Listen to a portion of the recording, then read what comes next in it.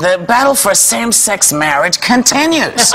and one of the movement's mottos is gay is the new black. At least that's what some people are saying. That's on the cover of The Advocate yeah, uh, this week. And some people don't agree with uh, comparing this to black suffrage. I don't even know if I understand what that word is, suffrage, but I'll, I'll leave it alone. Black suffrage. Well, I guess, it's, I guess it's when black people had to, you know, they didn't want to die for being black. They didn't want to be lynched. They wanted to be able to walk through the front door. They wanted, you know, you had Jim Crow laws that said you could only, you could not do certain things if you were black. Do you think this is this, because the argument is on the other side that this is minimizing exactly what you're saying, that to, to equate what's going on now with these protests and those situations um, during the civil rights movement uh, it, it, just shouldn't even be happening. That, that it minimizes all, all of what occurred. I, I do want to point out that both these movements began at the same time. Mm-hmm. Uh, which, which, two? The civil rights movement mm-hmm. and the gay rights movement. Which I, I guess I just and so and so.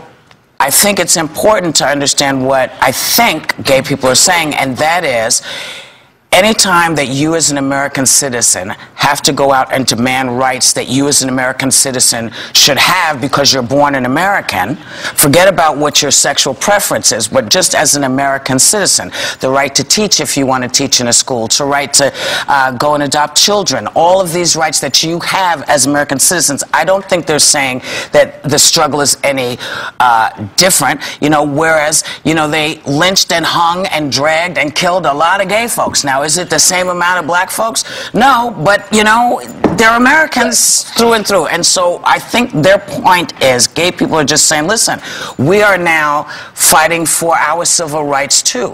I don't think they're equating. The I think yeah, the, I don't think they're, they're, saying black or white. I think it's just people are just, that's the only way they can deal with it. Some are also saying that they should be fighting for the rights rather than the word, marriage. You know, there are a lot of people who are arguing, okay, these, there were four judges who decided what was best for the country all of a sudden and this Prop 8 came out of that. It was a, a reaction. This wasn't an initiation. This is, was a reaction, indeed. And for people to uh, come out and say, no, we want this to be, uh, we want this to come through the people. We voted. We went into the, we went into the booth, voted Barack Obama and Prop 8. So there were things that people felt when they walked into that booth, and that happened to be the majority. So uh, these protests are, in essence, protesting what the majority want. Yes, they are, and that is their right. But I will say that I, I think it's interesting that it's not, I don't think it's any more about the word. I just think that people feel if you don't approve of gay marriage, mm-hmm. then of course, as I always say, do not marry a gay person.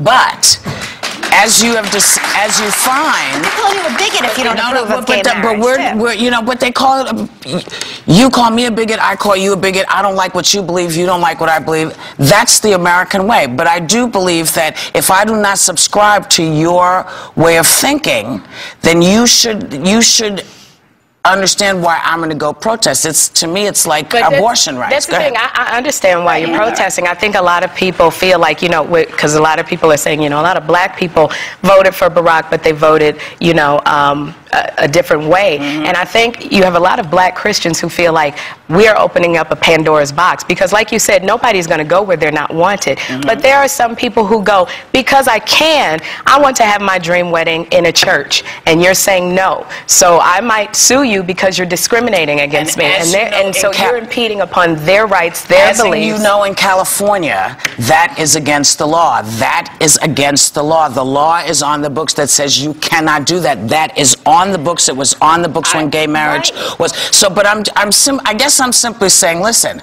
if I don't subscribe to your religious beliefs. Mm-hmm. I understand how you feel, but I don't want to be forced to live my life because it makes you uncomfortable a certain way. And that's why I say it's like abortion rights.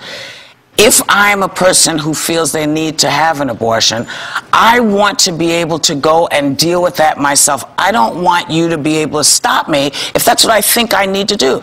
Just like you don't want me saying to you, you got to go have an abortion if you decide you want to have a baby. I think but we have to know, find the balance. People, I think people feel like, uh, you know, I, I know when, when I say I am pro-choice. People go, well, oh, you're, you're for killing babies. No, I don't want the government telling you what to do with your body. And I think people are feeling the same way. It's like if you're voting, you know, uh, against what, what, you know, it's, uh, I, I get confused about what is Prop 8. If you're voting yes on Prop 8, then all of a sudden you're a bigot. You Maybe- had- and why it's aren't they- not why there. aren't they- why aren't they Maybe, protesting? maybe one of those, a lot of those voters got mixed up like you just did. I don't, no, I don't think they so. did. I don't think so. I think they're they- they might not have. Why- No, maybe yes. not. Why Maybe they voted their heart. Why are they specifically protesting at some churches? You know, the the Mormon churches. Why are they specifically? Why aren't they protesting against uh, Joe Biden and Barack Obama, who said they were they thought marriage is between a man and a woman? Where are the protests Barack there? Obama did not put money into Prop 8. That's why They they're... put their mouths. No, no, no, They it's, no it does on it. matter But because people did church and state, the of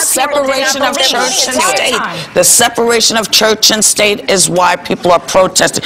The answer to the question They that you're asking. It's not just about the word. It's not just, me. Elisabeth, In it's not just about the word. The word marriage is really not the issue. The issue is the rights. The rights. They should fight for the rights. They should have equal protection under the law. But to call it marriage, but, they but Obama and Biden are for that. They are for that. They're for equal protection, but they're not for the word marriage uh, being used to right, a define the union between a man and they a man use and a woman and a woman. They're not. They're not. The reason They've that they said used- it. Joe Biden all right. said it in the vice presidential debate. Well, can I, can I also quote say it. this? A lot of people who came out and voted, they are for you having your civil rights. They're not for you redefining the word marriage. A lot of people who voted that way. And that's what I'm saying. That same thing as what Barack said. Again, why do you care what I call my relationship? Because you, there was defines a, mine as no, well. it does. No, no. And see, this is the thing. Yeah. Just because I believe one thing does not mean you are obligated to believe it. That's the that's And just your because right. the people who voted believe People one thing voted. doesn't mean you have to come and say that they're hating. Th- There was Listen, a proposition. I'm not talking about people hating. I'm just, you know, there are people who said, you know, if you didn't vote for Hillary, you are a woman hater. There are always people who say, if you don't do what we think you should do, you're a bonehead. I am simply saying that this particular issue mm-hmm.